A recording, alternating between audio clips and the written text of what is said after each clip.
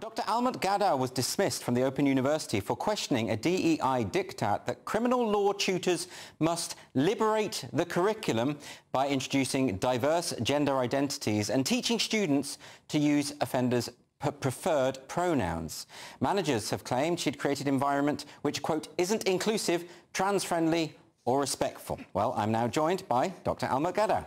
Welcome to the show.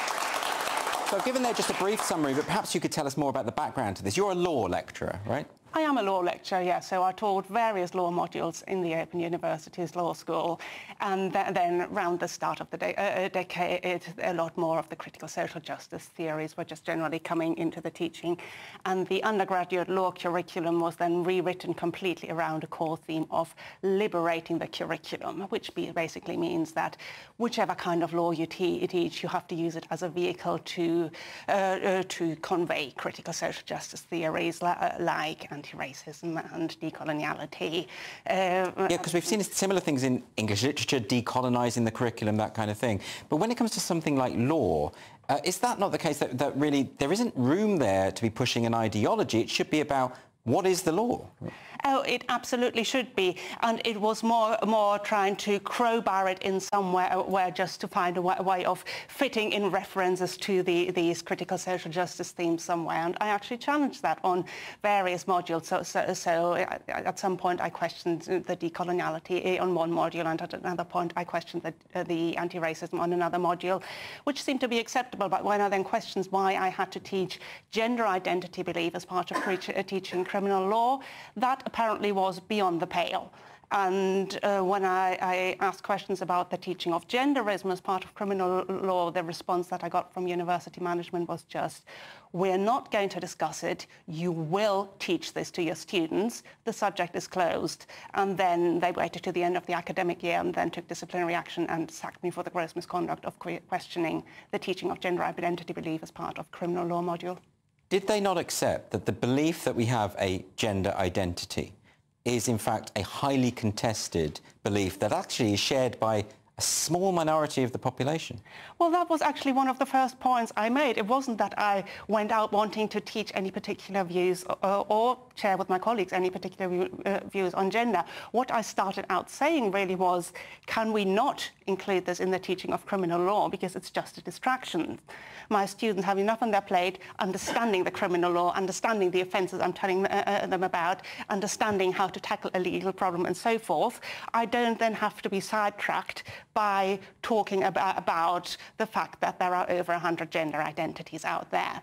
Can I just focus on teaching criminal law in my criminal law tutorials? I mean, it seems quite reasonable, to be honest. yes, but apparently the answer to that uh, was no, or more specifically, the answer that I got at the time was that I had to include it in order to help achieve broader objectives of liberating the curriculum. Liberating the curriculum. Yes. I mean, that's an astonishing phrase. And the thing about this is it's not just a matter of them saying, you can't say this, you can't say that, not like a free speech issue. They're actually trying to compel you to say things, to express beliefs you don't hold for whatever reason. Is that, have I read that right? Oh, absolutely, yes. Actually, the Faculty of Business and Law is kind of different from the other faculties in the Open University in that it is so liberated that they tell us what to say in every single tutorial. Wow. The, yes, the, the, other faculties wouldn't dream of it, but because the curriculum is so liberated now, now, or I'm not sure why, they control very closely what any tutor says in every single one of, uh, of the tutorials of every single module.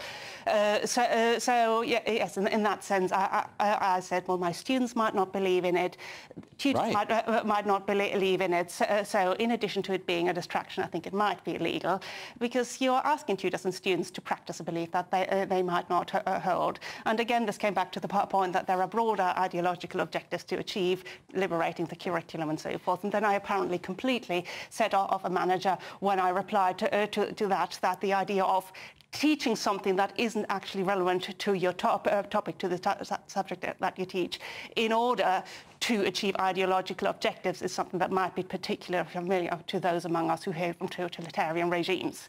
Uh, that's absolutely right. And of course, it's not ethical for a teacher to behave in that way. It's, it's not. No, no, you are abusing your position in the classroom, essentially. You are uh, uh, abusing your pos uh, position to use your students as a captive audience yes. Uh, uh, who will listen to your political speech.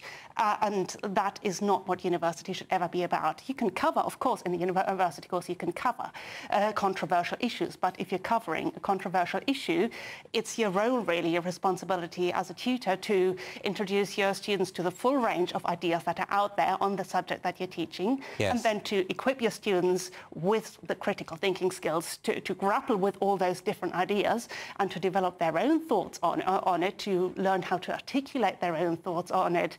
That's what what universities have traditionally done when they've ta uh, taught controversial theories, not pick one side in a political debate right. and teach that as the right one. So the Open University's defence is that they say, well, you know, it's not trans-inclusive unless you are saying that you personally also believe in this and everyone else must believe in it. What do you make of that criticism?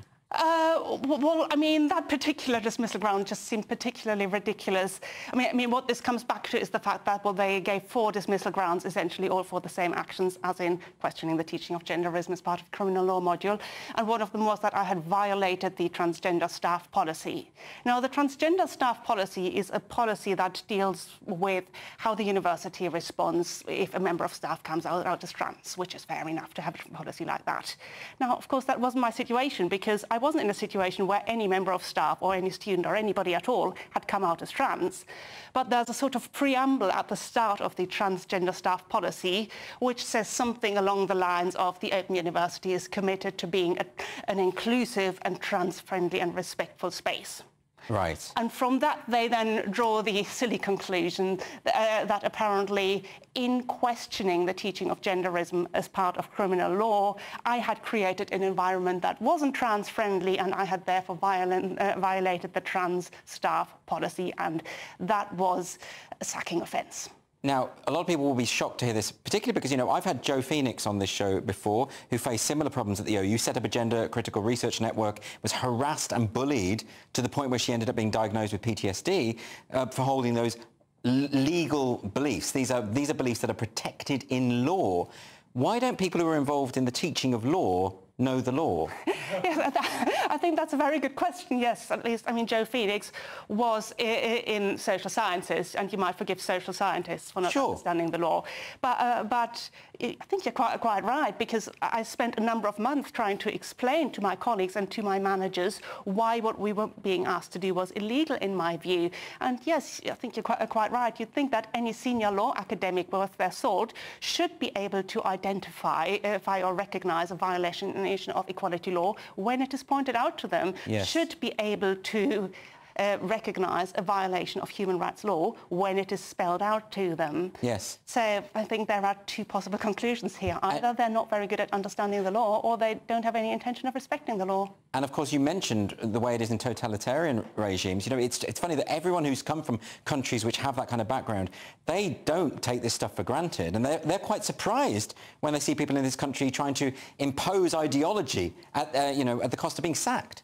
I think you're probably more attuned to that kind of thing if you've grown up with totalitarianism, which well, I personally haven't. I haven't grown up in a totalitarian but, uh, regime, but I have grown up with the family memory of it. I've even grown up with these sort of East German books on the bookshelf where you had this experience of look up any subject in the encyclopedia and it's, it's sort of related back then to Marxist ideology and any term you look up ultimately uh, ends with an explanation of how this particular con uh, concept confirms that Marx was right. Wow. So, uh, those are books that have been passed down to you from family members? Uh, well, I, I, I, mean, I was 10 years old when the Berlin Wall came down.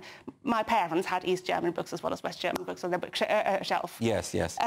so it was quite natural for, for, for me, for me growing up to sort of read East German books and compare them to West German books. Uh, yes. In that sense, I just developed a particular sensitivity, I suppose, to this habit of just using any subject as uh, and, uh, and, turning it into a vehicle to convey the dominant political ideology. So you've seen all this before? I have absolutely seen all, wow. this uh, before. I've had family members for several generations being punished for not going along with teaching the ideology du jour. I wasn't going to be the first generation in my family sort of further circa rape by just blindly going along with it. Absolutely not. Um, well, uh, I'm really pleased that you've come and told this story because I think a lot of people will be shocked by it. Can people help in any way? I think you've got a crowdfunder at the moment. I do have a crowdfunder, so if people Google my na uh, na name and Crowd Justice, Almut Gadow and Crowd Justice, or if you follow the Free Speech Union uh, uh, on Twitter, they have been regularly tweeting about my, my, case, so that will take you to my crowdfunder. So the Free Speech Union are helping you at the moment with all of this?